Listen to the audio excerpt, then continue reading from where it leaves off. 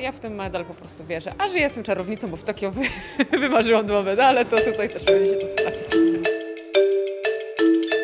Z nami jest Gosia Chałupkowalik. Powiedz o Twoich emocjach e, na początek, bo mm, teoretycznie powinnaś tutaj biegać, a komentujesz.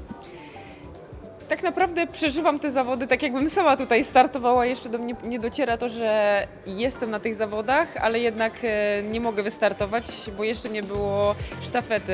No, w te biegi indywidualne to wiadomo, to jest jedno, ale ten bieg sztafetowy będzie dla mnie ogromnie emocjonujący, e, więc trzymam kciuki za całą reprezentację, tak jak zawsze. Ja się po prostu czuję jako e, element tej drużyny, tylko po prostu siedzę w innym miejscu niż powinnam. Jak brzmi słowo ekspert? Dumnie brzmi? Się w ogóle nie traktuję jako eksperta, bo ja nie mam takiej wiedzy. E, Ja mówię to, co czuję, to, co wiem, ale to nie, nie można się tego nazwać kompletnie, że jestem jakimkolwiek ekspertem. E, Jestem sobą. Jak wygląda przeżywanie mm, biegów koleżanek, tak z perspektywy właśnie góry, z perspektywy studia telewizyjnego? Szczerze mówiąc, ja myślałam, że ci ludzie tylko siedzą, nagrywają i nie, nie przeżywają tego, a będąc e, właśnie od tej drugiej strony zobaczyłam, że tam cały ten team, który e, nagrywa, e, komentuje, to przeżywa to wszystko razem z nami. Notowanie każdej setnej sekundy, czy wszystko jest w porządku, co się zadziało, oglądanie tych powtórek, więc to też robi taki swój klimat, tworzy swoje, swojego rodzaju emocje, które mi się zaczynają podobać. Powiedz mi, jak e, Twoje zdrowie, kiedy wracasz do drużyny, bo drużynie chyba mocno Ciebie brakuje. Dziewczyny mówią, że brakuje, bo nie ma kto gadać głupot i tak śmieszać. E, ale mam nadzieję, że wrócę już niedługo. Do treningu już wróciłam. E, biegam jeszcze może, no nie jestem na takim etapie, żeby rywalizować z dziewczynami, ale mam nadzieję, że do sezonu letniego będę gotowa. Noga już e, boli coraz mniej, także mam nadzieję, że będzie dobrze. Jakie to będą mistrzostwa dla polskiej e, drużyny? Słodko-gorzko się zaczęło w piątek. No dzisiaj to nie był taki, e, te, te starty nie były takie, jakbyśmy sobie tego wymarzyli. E, Wierzyliśmy, że no ja byłam całym sercem z Angeliką, więc e, jak zabrakło te dwie setne, to pojawiły mi się łzy w oczach i e, z 50 razy od, zdążyłam odświeżyć strony, zanim się pojawiły, pojawiły te wyniki. E, więc no to było smutne. Szkoda falstartu Przemka Słowikowskiego. Adrian Brzeziński zbiera doświadczenie. To jest młody zawodnik, więc, e, więc jeszcze ma troszkę czasu. Klaudia Wojtunik tak samo. To są młodzi zawodnicy, którzy też muszą się obiegać na jakichś zawodach i myślę, że takie halowe mistrzostwa to jest taki, to jest taki fajny moment, takie e, przetarcie przed tymi docelowymi, najważniejszymi imprezami w sezonie letnim. Michał Rozmysł, Rozmysł pobiegł naprawdę bardzo dobrze. Na początku mówimy było, że tak, żeby tylko, żeby tylko udało się wejść z tym czasem. Okazało się, że ten e, wynik jak najbardziej wystarczył i jak sam mówi, będzie gotowy, żeby jutro powalczyć w finale. Teraz trochę luzu, odpoczynku, co się na pewno Michałowi przyda i jutro będzie świetnie.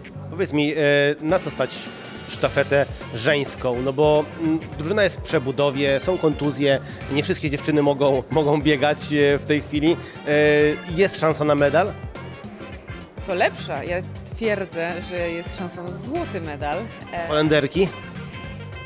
Chciałabym zauważyć, jestem, bawię się w statystykę tutaj, e, że Holenderki są dwie na świetnym poziomie, czyli to jest Femke Ball e, i to jest Lieke Klaver. Obydwie będą miały po trzy biegi w nogach. To jest bardzo dużo.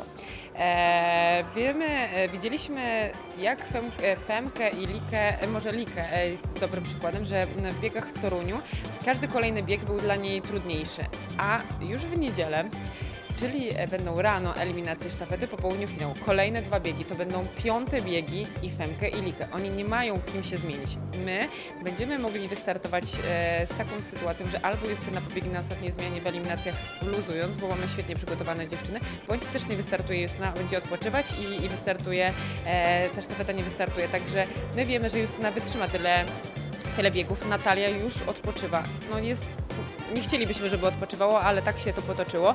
Ale to jest dla nas e, do sztafety bardzo ważna informacja, e, więc Natalia tutaj już na pewno będzie chciała się odegrać za ten e, bieg, e, bieg swój indywidualny, więc ruszy na pewno bardzo mocno, czyli to coś, czego zabrakło e, w tym biegu indywidualnym. Takie na pewno będzie jej zadanie. Iga, doświadczona Iga, to sobie poradzi swoim luźnym, długim krokiem. Jeśli będzie jakaś przepychanka, to ona też tam potrafi ustawić i tam sprzylokciować. Oczywiście wszystko w granicach normy. E, Kinga Gacka, młoda dziewczyna, natomiast e, widać już, że jest bardzo waleczna. E, widziała jak się biega w, z nami w, na igrzyskach i sama mówiła, że no już czuje, że, że to jest ten moment i to jest dla niej świetny, świetny czas, żeby w końcu mogła wystartować na tak ważnej imprezie. No Justyna, no to co będę komentować, to jest firma.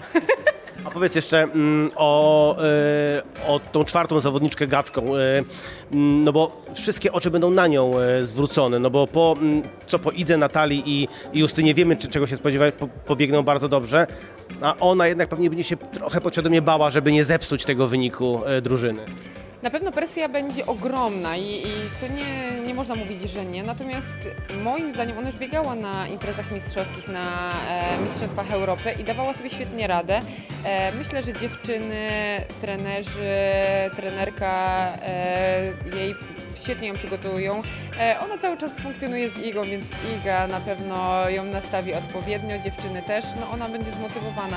E, ja wierzę, że to, to będzie taka motywacja bardzo mocna. Ona zrobi po prostu tyle, ile będzie mogła, e, ale ja, ja w ten medal po prostu wierzę. A że jestem czarownicą, bo w Tokio wy, wymarzyłam dwa medale, to tutaj też będzie się to sprawdzić.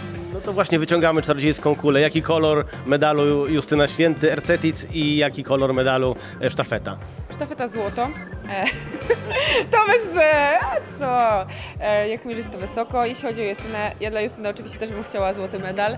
E, moim zdaniem będzie ciężko o to złoto. No, Shanna Miller pokazała się tutaj no, ze świetnej strony, po prostu wygląda fenomenalnie, więc myślę, że no, będzie ciężko jej zagrozić. E, moim zdaniem Justyna e, stoczy bój o brąz e, z McPherson z Jamajką. Femke Ball myślę, że będzie druga.